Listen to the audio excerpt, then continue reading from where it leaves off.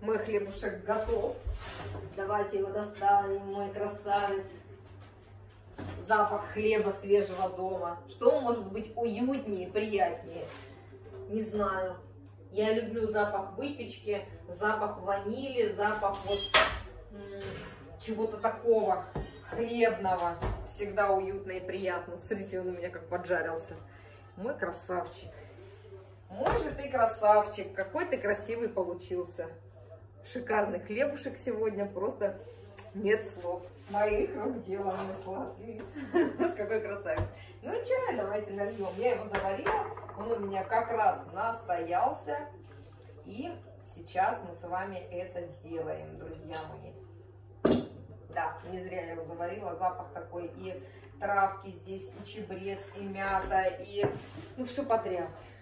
Ваше здоровье, мои сладкие. И сразу бодылка какая-то попалась. Прекрасно. Хорошо. Правда хорошо. М -м -м. Хорошо. Приятного чаепития. Обязательно заварите чашечку чая. Ну, правда. Настоящего.